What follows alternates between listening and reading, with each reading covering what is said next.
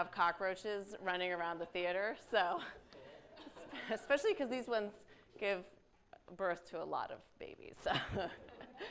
um, welcome to Sense of Place Season 14, the last event. Wow, we made it. We are officially teenagers. My name's Sarah Fox. I'm the host and curator of Sense of Place. I'm so excited for tonight for a lot of reasons that you're going to hear about. I'm also just excited to say season 14 has happened and season 15 is already underway as far as our planning. The other thing I'm really excited about is I would love if you guys would all help me give a round of applause to our 4-H Bug Club member Asher Epstein here.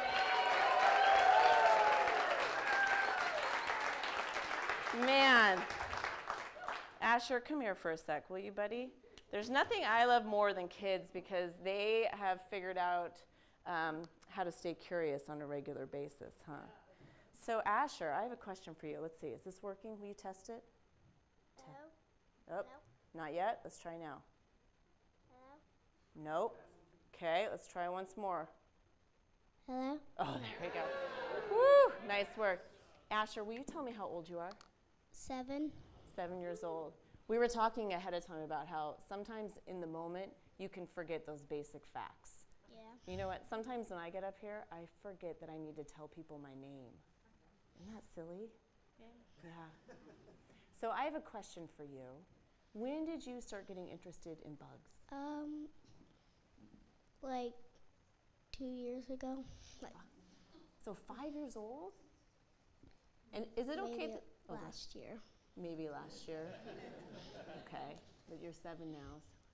Um, is it okay that I call them bugs, or am I supposed to call them insects? Well, um, um, well, actually, not all of them are bug. Not all of them are actual bug. Tell me what's Well, up. Well, actual bugs have to have three legs. They have to have three legs and I think wings. So three legs on each side. Yeah. Man, I'm already learning something. Now, one of the things I wanted you to tell me was what's one of your favorite insects? One of my favorite insects is a Goliath beetle, which is the heaviest beetle in the world. It's called a Goliath beetle, Yeah. And it's the heaviest beetle in the world. Where does it live? Not here in Hood River, does it? I don't know where it lives. Okay. you probably need to take a, a long trip to that place whenever Yeah. you find out where it is. Okay, mom and dad, trip to find a Goliath beetle. Any idea how much a Goliath beetle might weigh? No, No. As much as me? probably not. Okay.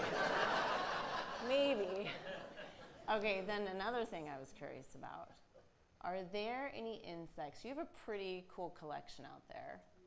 Are there any insects that you wish you had in your collection that are not in it yet? Um, probably a Goliath beetle. Okay. I think, and so can you show me with your hands how big a Goliath beetle might be? Like this big? Here, show everyone else here. Oh my goodness. And then, can I ask you one more question? Thanks for doing this. Can I ask you one more question? Yeah. Okay, good. Um, what is one cool insect fact that maybe we don't know? Um, well, tarantulas, they flick their furs out, which is like needles, and they flick them at their predators, and it, it's like a ton of needles hitting their predator. No way. Did you guys know that? No. Someone did.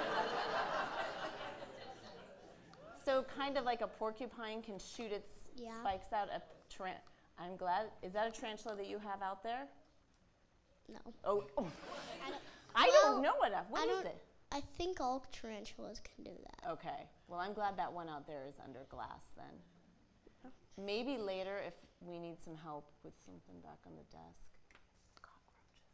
Maybe will you help me later if we need some help? Yeah, If I need some support? yeah. Okay. Thank you so much for coming tonight, for putting so much time into all your work and to helping teach some of us in the lobby about insects. I really appreciate it. Okay. Yeah, you guys, here for Asher. You can go sit down. Thank you, buddy. Man, I have been thinking about having Asher here for many, many months. Um, so thank you again for coming here to CCA. For those of you tuning in from the live stream, thank you for tuning in tonight and all season and when you were able to to help donate to support that really important way that people access sense of place. Um, one of the things I want to talk about before we get to Maggie and the Battle of Bugs tonight is our sponsors. And um, I did a little bit of research. Maggie was kind to say she was impressed, but I don't think it's really that impressive, but we're going to try here. This is the green lacewing. This is a green lacewing. Maybe some of you guys already knew that. I think Asher's saying he knew that. Okay. Oh, you have one? Okay, well, look it. Now I'm dropping some knowledge on you, buddy, okay? so I was doing some research, and this is an insect that we have here in the gorge, and I decided this is our sponsors because I learned, correct me if I'm wrong, Asher, that green lacewings do something called tremulations. And it's a certain moving and these vibrations that help send messages out into the world. And for me, our incredible sponsors, many of whom have been with us for 14 seasons, help us send little vibrations of this place out into the world via our audience members and the stories we get to have with our speakers. And so if you are in this room and you are a sponsor, you are one of these beautiful creatures in my mind. So please give a round of applause to all of our sponsors.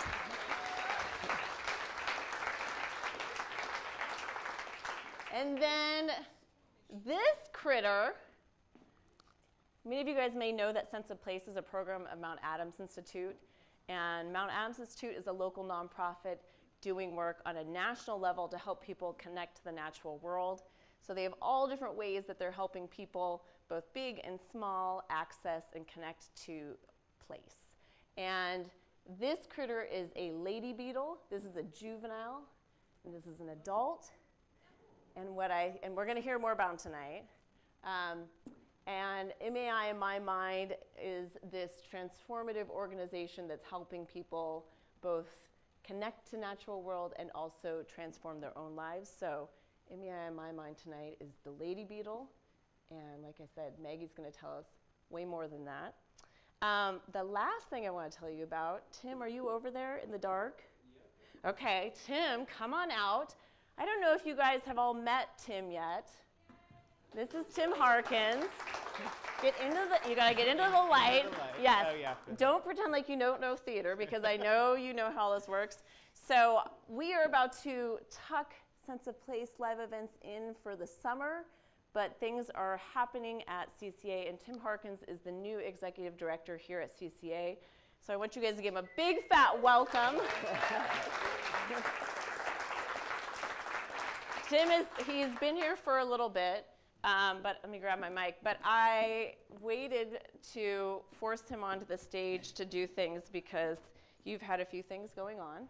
Yeah, Um, still. yeah, you, got, you haven't got it all figured out yet? Not yet. Okay. A little more time. All right, let me get this turned on real quick. I told Tim that what I wanted him to tell me was what his what you would be if you were an insect, or your favorite insect, either or. I Um, you said, what would I be if I was an insect? Okay.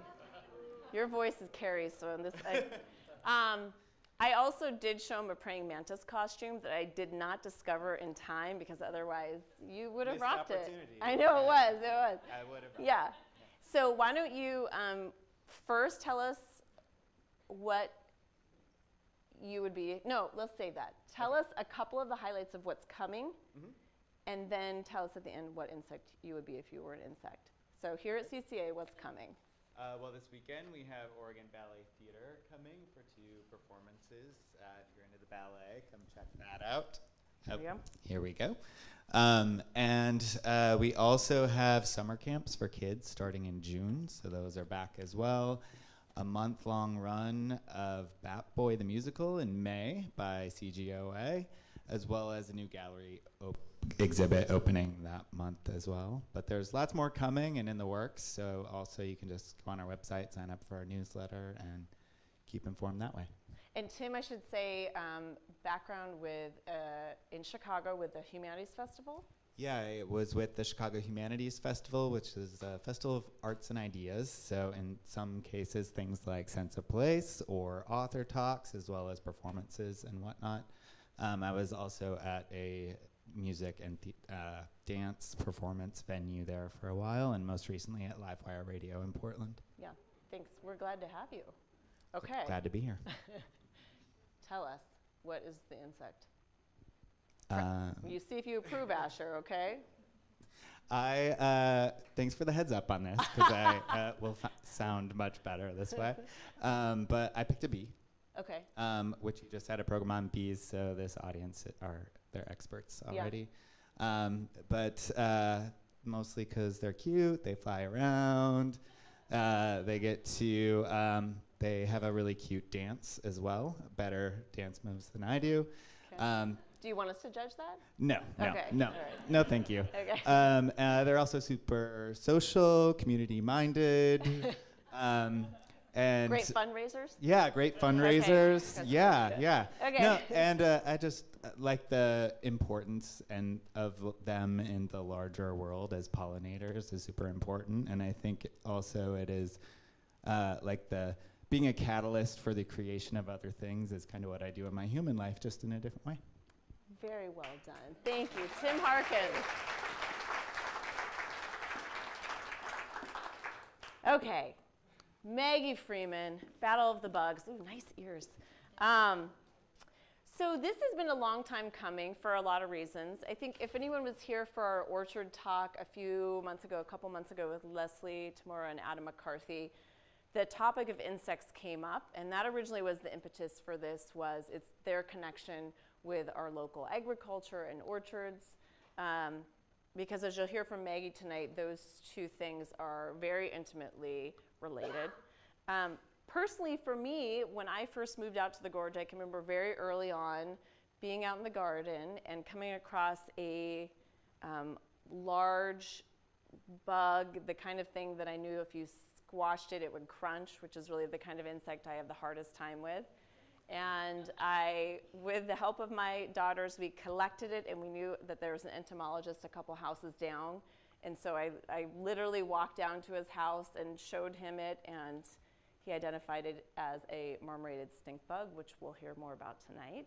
Um, yeah, oh, that's the right response, you guys. You hear marmorated stink bugs, ooh, they're not good. Um, so I also then have sort of watched the seasons as there's the all the box elders come out, and then learning from the orchardists some of the ways that we're using pests, um, not only looking at them as these foes that can cause us problems, but also the way we can use insects to really be our allies in what's going on. And so Maggie is going to talk some about insects in general. She has the kind of curiosity that often gets lost as we become adults. I know when I spoke to her on the phone about doing this, um, you know, she was a little apprehensive, but then as we got into talking about bugs, she said, "Oh my God, I love talking about parasitoid wasps. I can talk about parasitoid wasps all night." And I knew that was my gal. Uh, that kind of curiosity is the sort of thing I look for when I'm looking for sense of place speakers. Um, and I'm so grateful for folks like her who have this depth of knowledge in things that, uh, that I don't. Um, the other thing I wanted to share, because at the end of the show, with her help and maybe Asher's help, we're going to help me overcome my own a little bit of fear. When I was living with a family in India, I was sleeping underneath one of those mosquito nets, and it was very, very hot. It was in a very small village, and as always happened, around 6 p.m., the electricity cut out, and we wouldn't have electricity until the middle of the night when it would kick back on, so there was no fan. You're just in there sort of sweating it out. And I can remember one night laying there sweating. I would put like a wet bandana on my neck to try to just stay a little bit cool. And I'm laying there just falling asleep, and all of a sudden I hear this hissing. And I think that cannot be good. and I get my little headlamp out, and I'm in my net, and I'm shining it around and shining around. And all of a sudden, I stop on this huge thing on the wall that's shiny, and I realize there is a cockroach making that noise on the wall. And to someone like Asher, maybe that wouldn't be a big deal, or maybe that'd be exciting.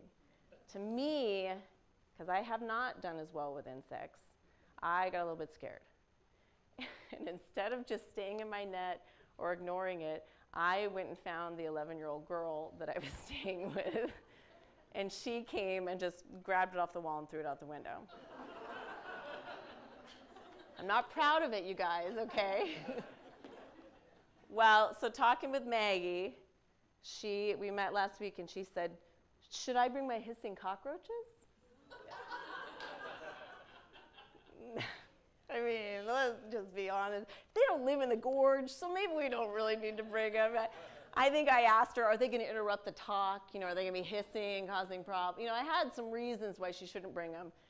But then I was, I was thinking about Asher today, and I was thinking about what Maggie suggested, and I texted her, and I said, no, now, so where did we land on the hissing cockroach thing?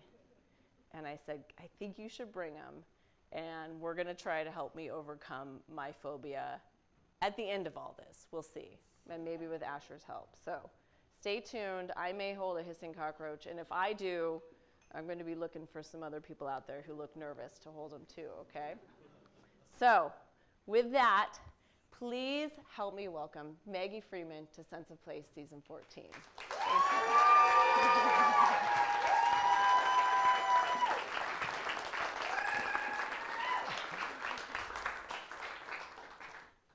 I was having so much fun talking to Asher that I forgot to get my mouse out. So, one second.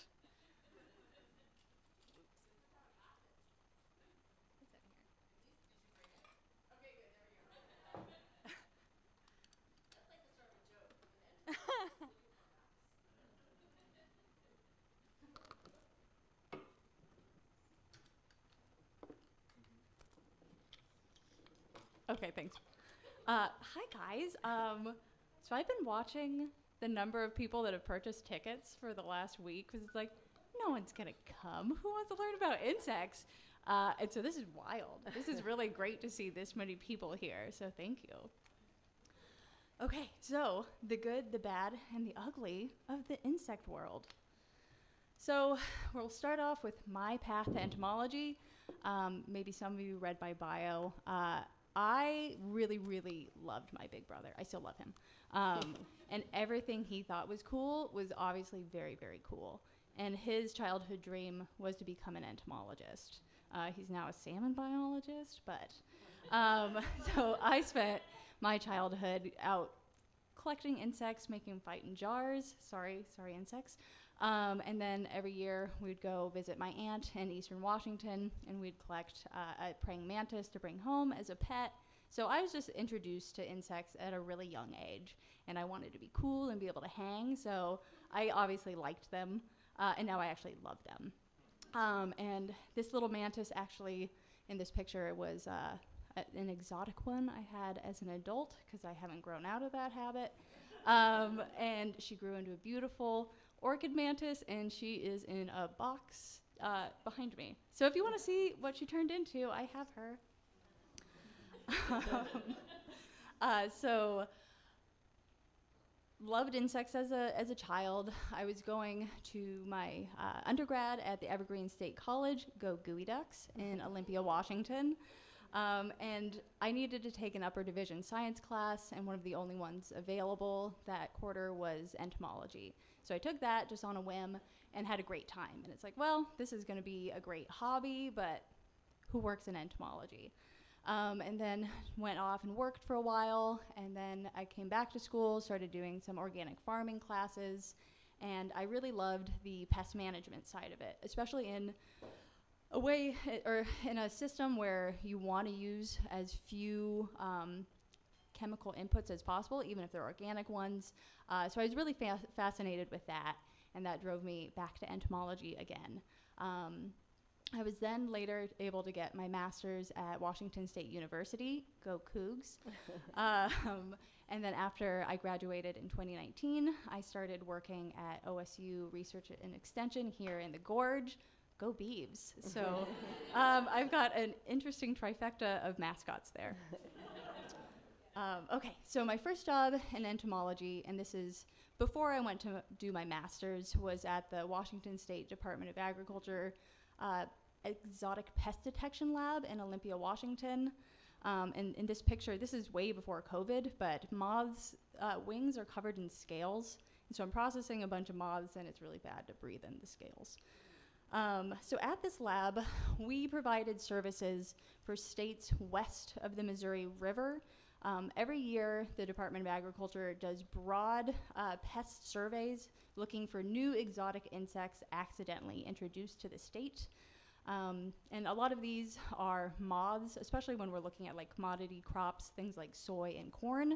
Uh, these are moths or the caterpillars feeding on um, the crops. So we were processing thousands of these traps. And these traps were often in like really poor condition. So looking here, you, you probably see nothing because it's just covered with dirt. Um, there's some weird blobs there, and maybe that's a moth. Uh, but we had to be able to give species level uh, identifications. So if you got, oh no.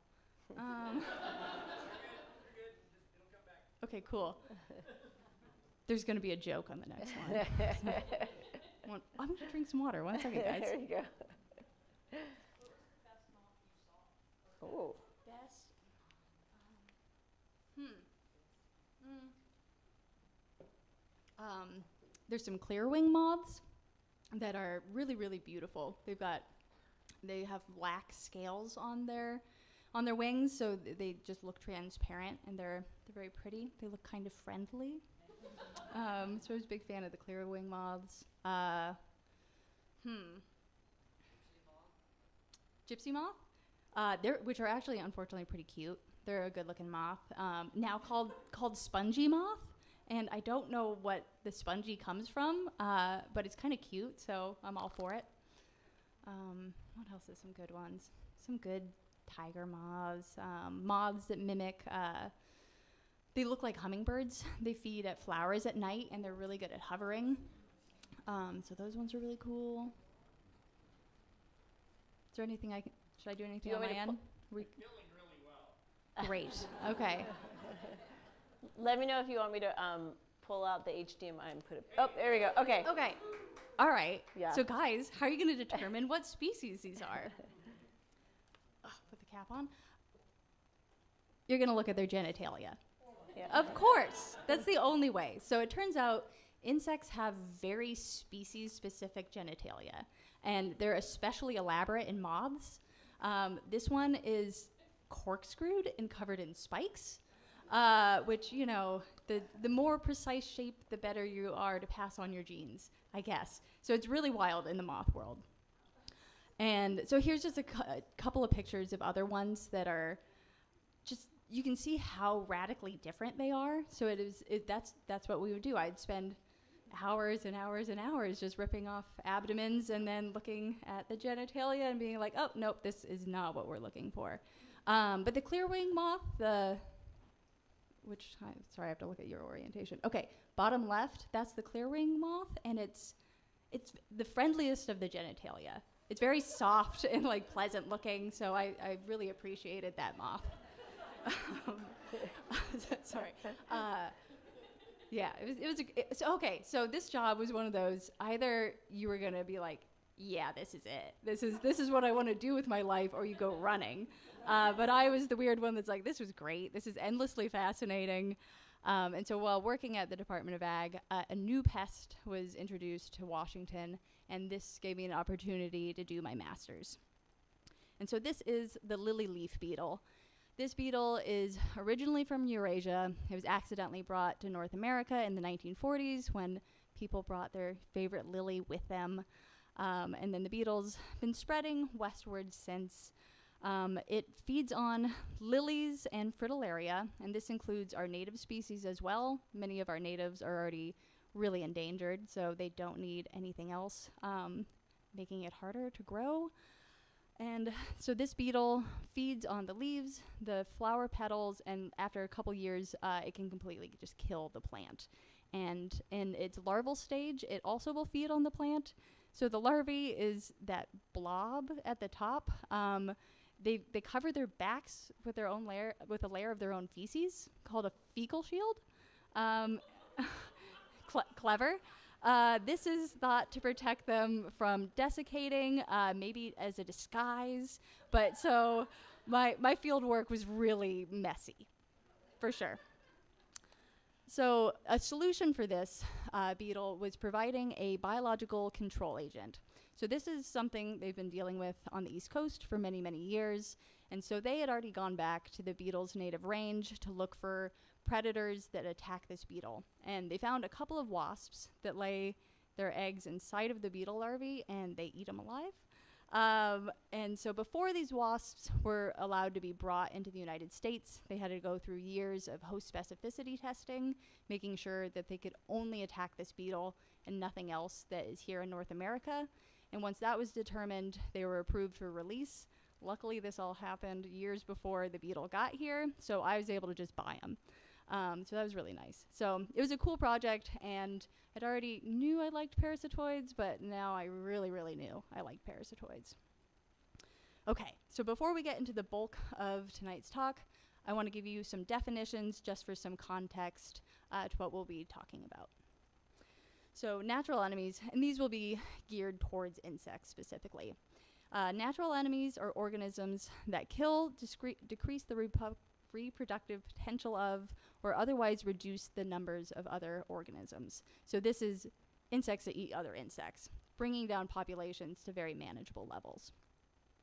And then within the natural enemy world, there are generalists and specialists.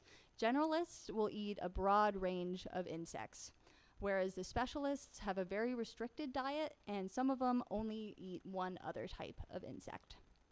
And then within the specialists, we've got parasitoids, which is my jam. Um, the parasitoids are organisms whose young develop um, on or within another organism, eventually killing it. Uh, they are super highly specialized. They're able to track down their hosts via environmental cues or like vibrations in the host plant. So examples of this are this poor caterpillar. It, well, it's a tomato hornworm. Um, they're not here, but they eat tomatoes elsewhere in the country and they're a really bad pest.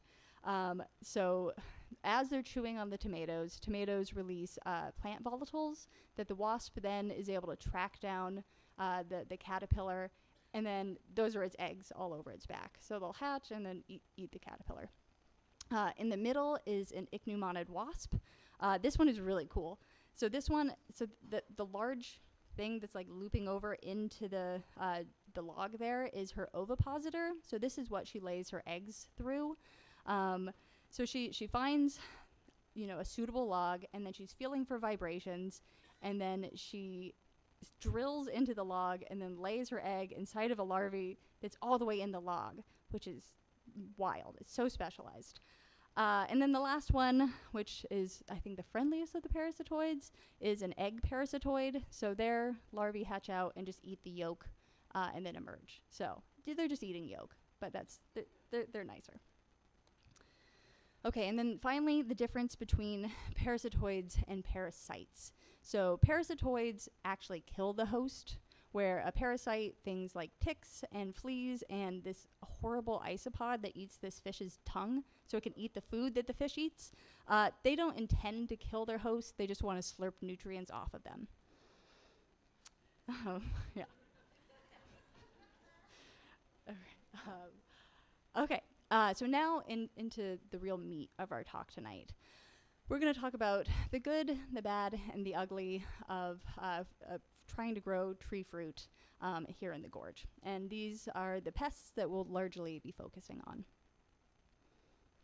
So the tree fruit industry is actually a super important thing here in the gorge. Um, these values are from 2022 and 2021, but pear is valued $67 million coming from here in the gorge, 55 million for cherries. We are the second largest producer of pears in the US. This is the state of Oregon. We produce the most pears in Oregon.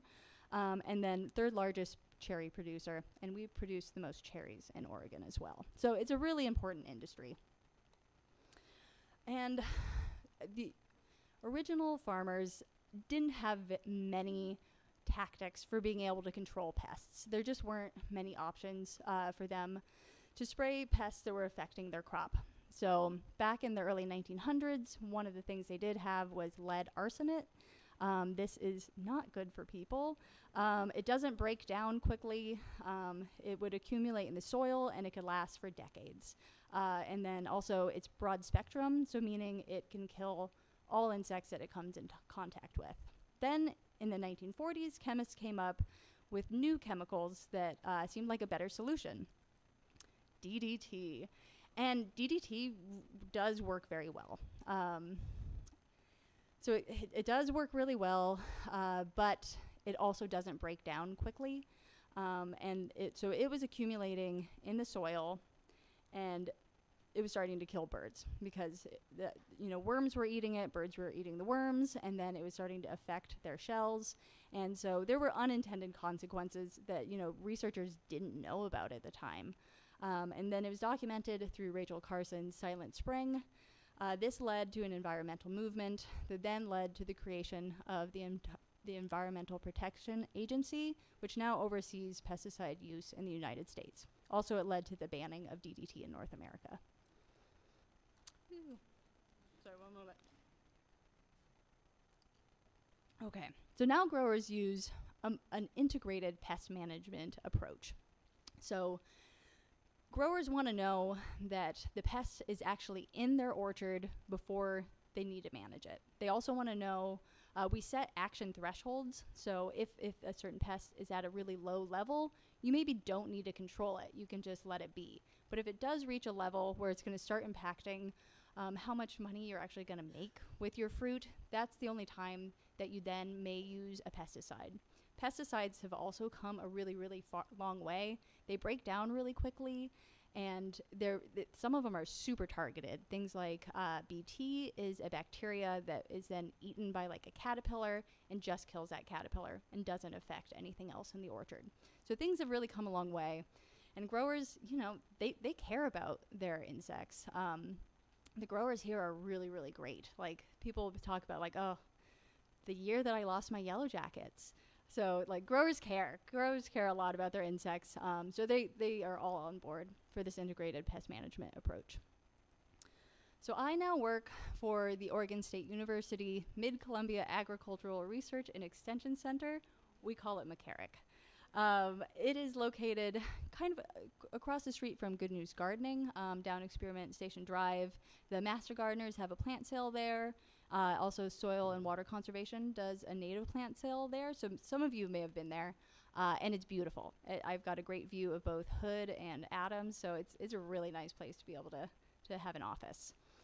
Um, so Oregon State University is a part of uh, it, it is the Oregon State's land grant university, and land grant universities I think are really cool.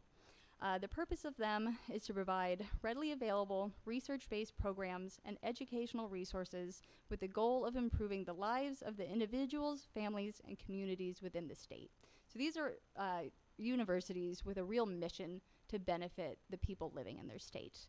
Um, and they do this through a couple of ways, both through programs at the university and then through the uh, extension and research centers. So we're one of those satellite centers. And our extensions provide some, our extension experts provide some really cool things for our community. Things like family and community health uh, ex- experts and advice. Um, the Master Gardener program, which helps teach people uh, how to do sustainable gardening, our and our 4 H program. Um, you can also submit questions about plants and animals um, and insects uh, through OSU um, Ask Extension. So it's a really awesome resource. So our lab is more of the research side of this, and so we are here to serve the growers in the Columbia Gorge. So the growers will set what priorities they are most interested in having researched. We then take those priorities and that guides what our research programs are. Um, we then are able to provide opportunities for master and PhD, PhD students to come have on hands um, uh, actual uh, projects here uh, in Hood River. We also provide opportunities for undergrads and high school students uh, to come work for us in the summers. I've had some really good kids from this town. Um, and what I think is really great too is that at the end, all of our research is to be given back to the growers and to the public. Uh, and we do this through um, publications, grower meetings, uh, public meetings, and uh, extension bulletins. Hmm Okay, now to the pests. So the first pest we're going to talk about is the codling moth. And the codling moth was first brought over from Eurasia on accident um, back in the 1800s. This moth lays her egg out on the outside of pears and apples. It then hatches out into this caterpillar. It chews its way into the center, um, and then in that picture in the middle, you can see that brown stuff. That's their th- their frass, their poop coming out. Uh, so they just completely ruin crops, and if left unmanaged, they can like ruin more than 50% of the crop. Um, and this is where like the worm in the apple comes from. It, it's actually a caterpillar. But there happen to be a couple of really good environmentally friendly ways to control uh, codling moth. One of them is through mating disruption. So they create a synthetic female pheromone. So this is the pheromone that the female emits when she wants a male to come find her to mate, and then uh, she's able to lay these viable eggs on the fruit. Um, but by creating a bunch of fake ladies that you stick throughout the orchard, the males are just flying and flying and flying, and they're not able to find her. So it keeps the females from having viable eggs. Uh, the other option is sterile insect release. So labs will rear tons of these codling moths. They put them through an X-ray machine, which then renders them sterile. Uh, and then they take lots of these sterile moths, release them in the orchard, and then it just decreases the opportunity for the female to mate with an actual viable male. So this method has been used widely in Canada. Um, so it's been over a decade that they've been doing it, and they, they dropped the wild population of this moth by over 94%. So greatly decreasing the number of these moths without needing to spray at all. Um, and this reduced the pesticide use by 96%. So it's, it's a really good and interesting way to be able to control this moth. However, sometimes you do need to spray for the moth, um, especially Hood, River's got a tricky situation in that they're surrounded by a lot of houses, and a lot of us have backyard apple trees that we probably don't treat. Uh, so ha- we have all these reservoirs of these moths that can then affect the fruit in the orchards neighboring us. So sometimes you do need to spray, and sprays can kill beneficial insects, um, and then you'll get uh, uh, these secondary pests. th- Their populations will just boom, and then you're having to deal with other uh, pests. Thing like things like pear psylla. So pear psylla is kind of like an aphid, um, both in size and how they feed. They have piercing, sucking mouth parts, so they stab into the leaf and slurp up the phloem. So they're just drinking a bunch of this sugary juice. Um, and then because it's so much water, they're just trying to concentrate the sugars. They have this like really liquidy poop called honeydew, and the the, the honeydew drips onto the pears, uh, causing russeting, and then fungal spores can get onto this sugary substance on the pears, which causes sooty mold, which gr- uh, further reduces the value of these pears. Um, and having long hair working in orchards, I can uh, sadly attest it is it's very sweet. The the honeydew is very sugary. Um, so so yeah, makes sense that the fungus is doing great on it. Um, okay. So one of the projects that my lab is working on is trying to create an action or like inaction threshold for all of these beneficial insects that eat pear psylla in the orchards. We want we're putting out these traps with uh, plant volatile volatiles that bring in the natural enemies. They they use these plant volatiles to find the pear psylla in the orchards.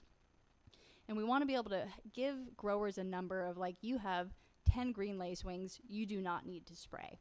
So this is a project we're working on, um, and the growers have been really excited. Okay, now into my favorite of these beneficials. Um, and you're maybe going to notice a uh, ugly duckling to beautiful swan theme.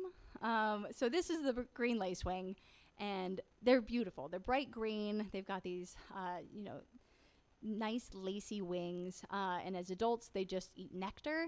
But as their larval or immature stage, they're like out of nightmares. They're really scary looking. They're called aphid lions, and they've got these very specialized mouth parts. So it's like almost like a sickle, but a straw as well. So they stab it into the psylla, and then they inject it with saliva, which starts to digest them, and then they slurp them up.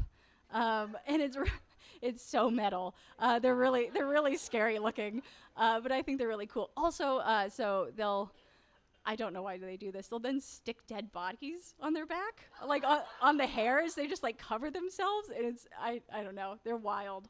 Uh, they're maybe my favorite insect. Um, and then the lady beetle, beautiful, sweet-looking adult, and then these weird, scary-looking uh, larval stage. Uh, both the adult and the the immature stages both eat the psylla, so they're a really good natural enemy to have because they they eat a lot more.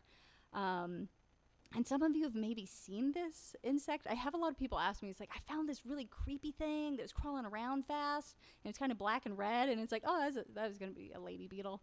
Um, and then if you start looking at like your kale and your roses, you might start seeing these weird orange lumps, and that is the pupating uh, the lady beetle going through me- metamorphosis to become a beautiful beetle. And then syrphid flies, uh, they are bee mimics, so they're often yellow and black striped. Uh, they're really good flyers. You'll see them like hovering above flowers. As adults, they eat nectar, uh, but then as their immature form, they're these like ravenous maggots that um, track down psylla. They bite them, uh, which paralyzes them, and then they slurp up the innards. Um, but then they're really pretty as adults. Uh, earwigs, which there was even one that I was creeped out by for a while, but I've come around on earwigs. They aren't beneficial in all um, crops. Like they, they are lettuce and things, so you don't necessarily want them in your garden, but they're really good in the orchard. Their mouth parts aren't strong enough to chew through the skin of the pear, so if they're just moving through your uh, trees, they're just gobbling up aphids, aphids and psylla. Um, and then uh, the thing that maybe will bring you around on them, they're actually really good moms. They they build nests, they guard their eggs, and then as the eggs start hatching out, they go collect food and provision their babies uh, until they leave the nest, which is wi- quite sweet and not that common for insects. Uh, and then finally, a parasitoid, of course. So this is the parasitoid that attacks Pear psylla. I'm finding tons of them in the orchards right now. They're, they're tiny. So it's a tiny, tiny wasp. Smaller than a grain of rice. Um, they've got this fun uh, metallic patch on their back. And they lay their egg inside of the psylla nymphs. Um, it then hatches out. They gobble up uh, unimportant tissues until the nymph gets big, about uh, to the size where it would emerge as an adult. And at this point, it kills it. It's then able to complete its uh, metamorphosis inside of this exoskeleton. So it's got this nice, handy dandy safe spot to be. And then it emerges as an adult wasp. And I think they're very pretty. Okay. Mm-hmm. BMSB, boo. I know. So you've probably all seen this bug. Um, and this this is a true bug. So not every bug is an insect, but not every insect is a bug. Um, so true bugs have these piercing, sucking mouth parts, uh, which you can see this big schnoz on this guy. Uh, so this is what it uses to stab into the fruit and then slurp up sugars and then probe into the seeds to get uh, protein. So this this one's tricky. Uh, so it, it, it's from Eastern Asia. It was found in Oregon in 2004, and it eats so many different crops. Um, it can feed on over 300 different host plants, things like maples, and then your pear, and your peaches, and then back to hazelnuts and your oaks. So they're just able to, and they're also really good flyers. They can apparently fly up to 40 miles a day, probably only a couple miles, but they're really good flyers. So they're just moving throughout our our system, moving into the orchard, feeding for a bit, flying to a maple, and so you can't necessarily even spray for them because they may not be there. So they're they're a really tricky one for growers to deal with. Um, here's a picture of what their damage looks like. So they stab their mouth part into the pear, which causes this browning. It can also introduce uh, like bacteria or fungus in these uh, piercing uh, piercing wounds. Um, so and it, it just renders the fruit unmarketable. Um, so it, it is now a, a large agricultural nuisance in the state of Oregon because it affects our pears and our hazelnuts. And it's a big nuisance passed throughout many other states in the US. Um, and there's a bunch of different organizations, lots of universities that were frantically doing research on this, uh, this, this bug to try and figure out ways to help our growers. So, one of the things that we have found is a parasitoid, of course. Uh, so, researchers went back to the stink bug's native range, found an egg parasitoid. Um, that she this so this wasp which is tiny so you can see she, she's over the two on that penny so it's really really small you'll never see it you wouldn't know it's a you wouldn't know it's a wasp um, so researchers found this wasp and in its the stink bug's native range this wasp provides 70% control of the stink bug so keeping the population to very very manageable levels um, so while researchers were doing this host specificity testing on it uh, we found it in Portland. So it was accidentally introduced as well. And it was established and it was already starting to spread. And overall, it's going to be doing a, a, really good net service over anything bad. So the state of Oregon has granted permission for us and other organizations to rear and release this wasp.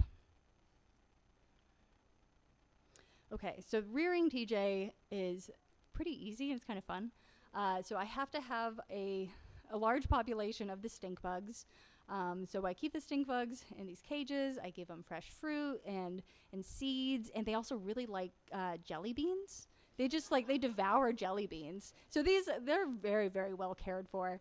Uh, and then I collect their eggs every day, and then I give their eggs to the wasps, and I feed the wasps some honey, and then I'm just able to mass produce these things really easily.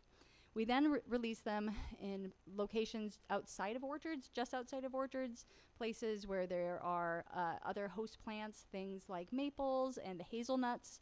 That way, the wasp can establish just outside the orchard, start bringing the BMSB population down so they won't be moving into the orchard. And that way, if orchards need to spray, they don't have to worry about killing this wasp because it is already established just outside of the orchard. And so for the last three years, we've been rearing and releasing these guys. Um, and with the collaboration of ODA and other folk at OSU, we've now released over 73,000, uh, which is wild because each female can lay like 200 eggs. So, and there can be 10 generations a year. So that like, if, if everybody lived, like I've tried to do the calculations and it just gets unreasonable very quickly. So hopefully they are establishing and starting to, to spread. They are small, so they're not going to spread super quickly on their own. But uh, we're going to continue this program with uh, the Department of Agriculture and keep releasing these wasps at new locations.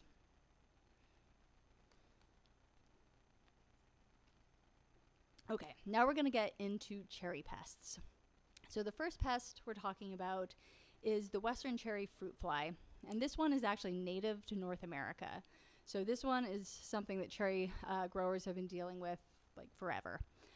The female lays her egg, the female fly lays her egg inside of the cherries, um, and then her maggots will hatch out and start feeding, uh, and then they just make the fruit disgusting. Um, and left uncontrolled, they can uh, ruin like every single fruit on a tree. Um, they're not very good flyers, so they don't spread very fast, uh, which is something, but it is something that uh, orchardists are having to deal with. Um, they also only have one generation a year, which is nice, so you only have to control them once. Um, and one of the ways that uh, the growers are able to, to control it is using a bait, so like something they want to feed on that has a pesticide in it, which helps kill the flies. Then comes along spotted winged Drosophila. So now there was an introduction of this fly. It was first found in California in 2008 in, uh, in strawberries. And so growers were like, oh no, this is a bad one.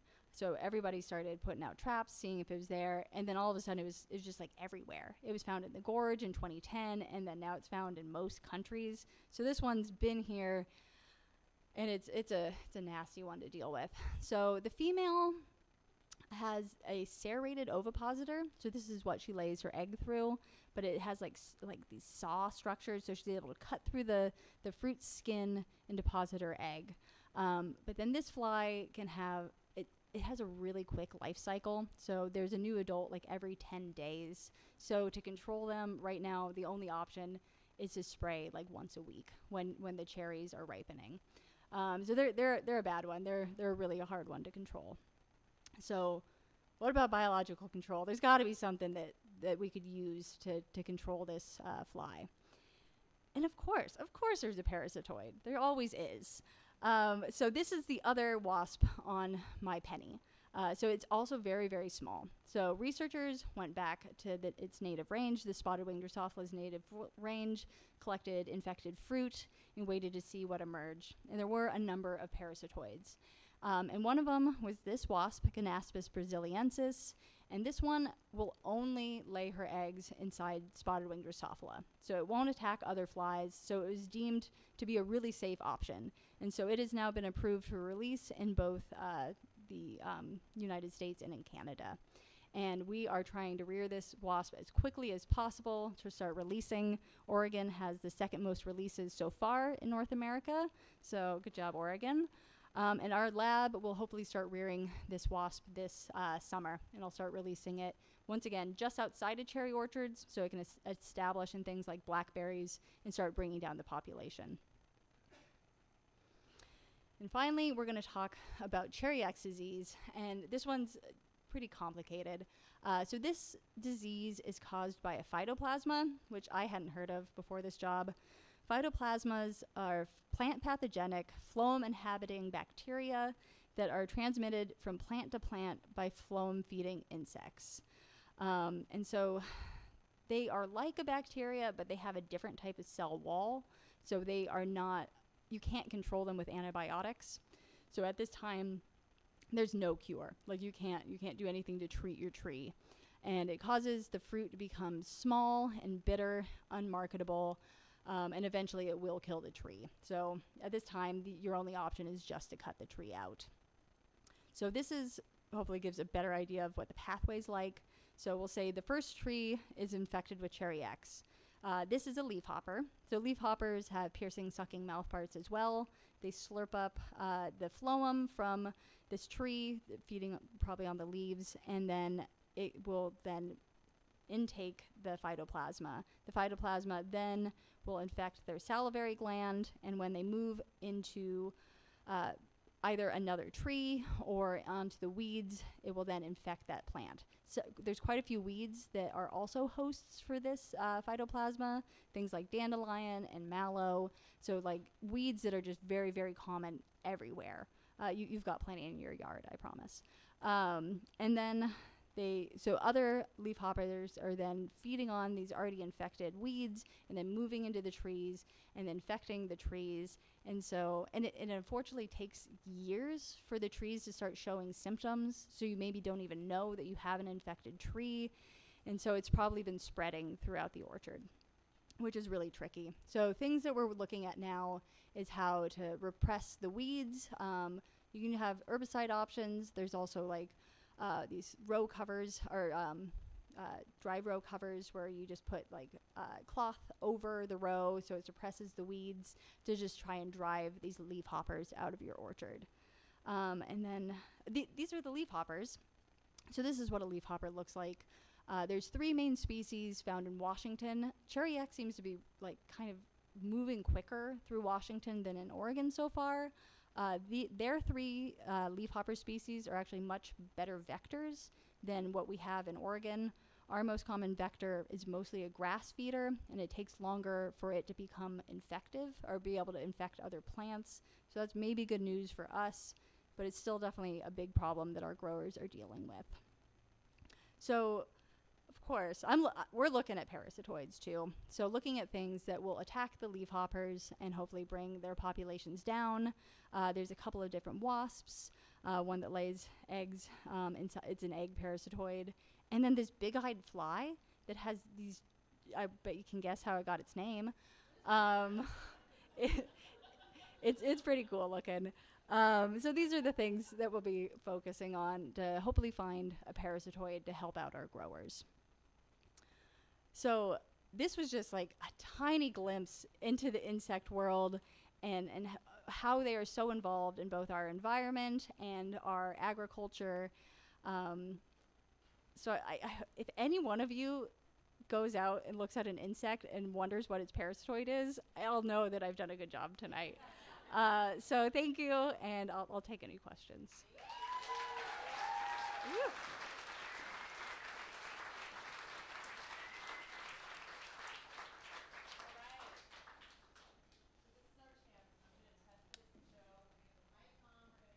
Up. So this is your chance. If you have questions, um, if you don't mind handing this back to that gentleman back there. Hi, Miles. Thank you. Um I was wondering, um, the little wasps that like jelly beans, the TJ, do they like um, jelly bellies or Brach's more? um, uh, they, they only like the organic ones from Rosauers in bulk. So That's I'll- their I'll make sure for my little pet TJ and my penny back at home, I'll get some organic jelly beans for him. Nice. Okay. Well, we pass that forward. I wanted to know. Can you uh, tell us the difference between a lady beetle and a ladybug? They're, they're actually beetles. They're not they're not true bugs. Call them a ladybug. That's fine. Okay. Um, but yeah, they're, they're technically beetles. okay. So it bugs. is okay. It's just Got one and the same. All right. Hi there. Um, I was wondering if you have any sphinx moth moth samples. I, I have one in a box over here. Yeah, I sure do. You should come look at it. Ask and you shall receive, Yeah. Carrie. Okay. So afterwards, we'll come look at bugs and insects. I had the, the incredible pleasure of being in New York and seeing um, Chinese lantern moths, and I am concerned about those coming here Yeah. because they eat trees. Are y- have you seen? Are, is that a concern of ours? Oh, oh yeah, for sure. Um, they're not here yet. They've found them a couple times in Portland, uh, dead. They were in nursery stock. Uh, it's probably a matter of time. They love Tree of Heaven, uh, so they'll do well here. Th- that's growing all along our railroad tracks, and then they also love grapes. They like they so they're a really big nuisance for our vineyards. So they're unfortunately beautiful. Um, they're they're pretty easy to control with pesticides. Uh, so they, they die pretty easily, but they're they're also really good flyers. They reproduce really fast. Um, when they feed on trees, it just like drips. Yeah, they're they're they're pretty bad. They're they're beautiful, unfortunately. But yeah. Right here. Oh, hold on. Oh. Thank you, Maggie. Great talk. Um, are there programs for home gardeners who aren't orchardists to receive beneficial insects for managing pests? Or is that something that's even a thing? Yeah, well, not not the parasitoids yet. There are certainly you can buy things like green lacewings and lady beetles and praying mantises. So there's definitely uh, more generalist natural enemies that are mass reared for um, release. But at this time, the the parasitoids are too, too special. Sorry. All right. Right here. Yes, ma'am. Um, I was wondering how big can a Praeus pra- pra- praying mantis get? Like, how big can it get? How So- big can a praying mantis get? All right. Uh, we don't have the giant ones here, but there are giant ones in the jungle that can that can eat birds. So they're they're huge. They're really really big. Um, but we don't have them here. wow. Yeah.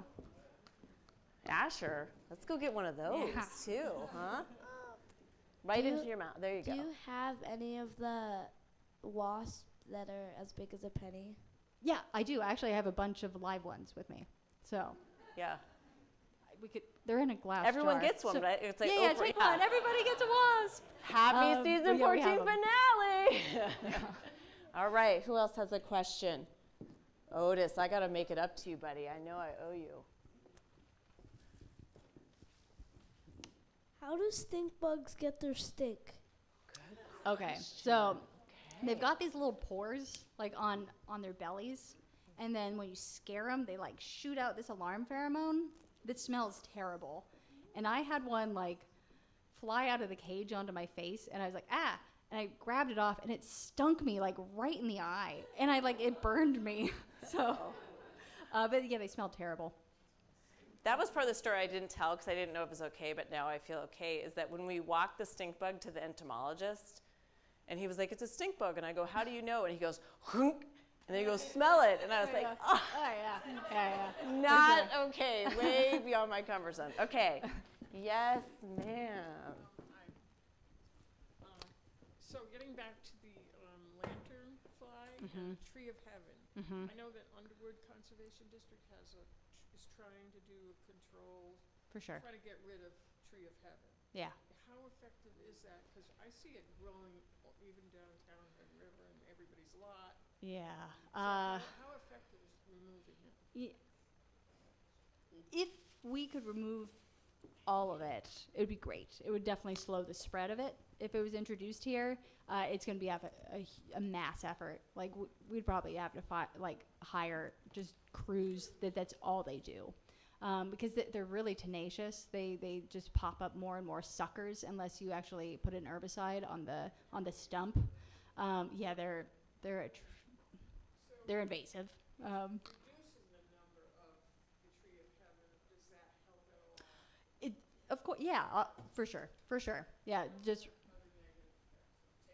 Yeah, for sure. Yeah, they're invasive. They don't belong here.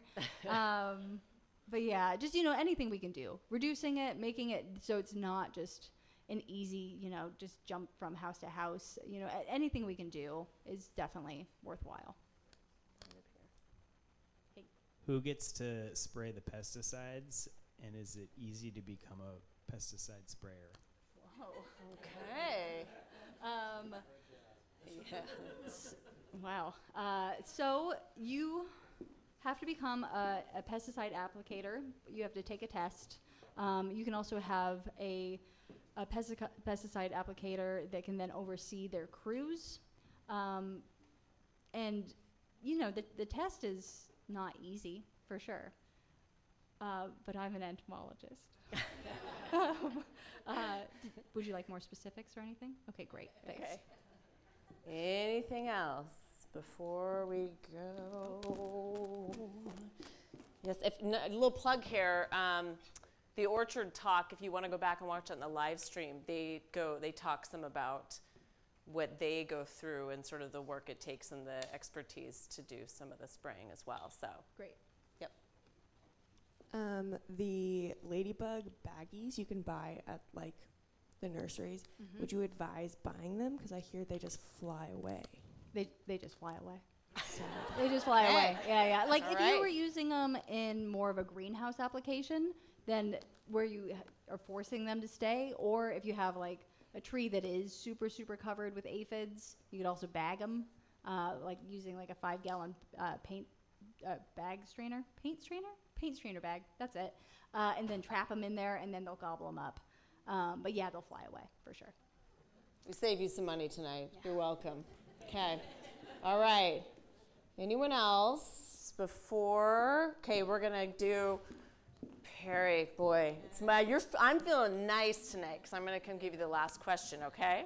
So I was just curious, you mentioned pheromones, but then you didn't talk about them more. Oh. Uh, so how, how prevalent are they and what's the potential of their use or increasing use and why aren't they used more? So they're they're definitely well pretty well used with moths. Moths are really good at they're they're more receptive to it. They've got those really big antennae. Um, so they are like going over larger uh, area to find the females than other insects, where some will be already kind of in the same area. Um,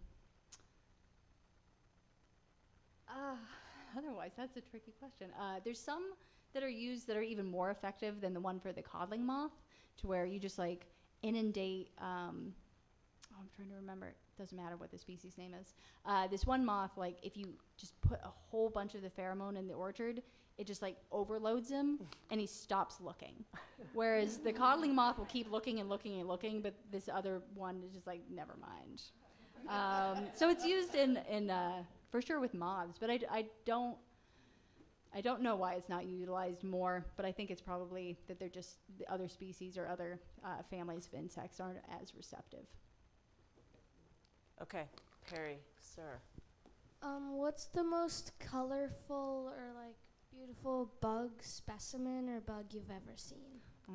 Um, there are uh, metallic wood boring beetles, uh, and or, or they're also called jewel beetles, and they are phenomenal looking. Uh, they've got like these pits that ref- uh, refract light, and so they just have these beautiful metallic colors. Um, and I've got at least one. No, I don't have it with me. That was a lie. Uh, but there's an awesome book uh, that Asher and his family brought that has a ton of these really metallic, beautiful insects. So metallic ones are my favorite. There you go. Mine too. Mm. um, okay, I want to do a couple final logistic pieces while you, yeah, talk to them, tell them to take it easy. Um, maybe Asher, when she gets him out, can you help me with it? Okay, and maybe talk me through feeling okay. Um, so tonight's the last night. This often I feel sort of a, a depression sink into the sense of place audience because you won't see us for months, and I'm sorry for that. Um, which is a good time to remind you that all of this season is available online, so you can live stream it on a Friday night with your family. Um, we also have a companion podcast called Here in the Gorge, which, if you have a phone and you go to the podcast app, you can go Here in the Gorge, H E A R in the Gorge, and you can hear stories about our tribal fishing history, our Japanese history, Crag Rat's Mountain Search and Rescue, uh, all sorts of. Woody Guthrie. So when you're out working in the garden looking for bugs, you can listen to the podcast. Um, I also want to remind you that the RFP, request for proposals for season 15, is online and closes April 26th.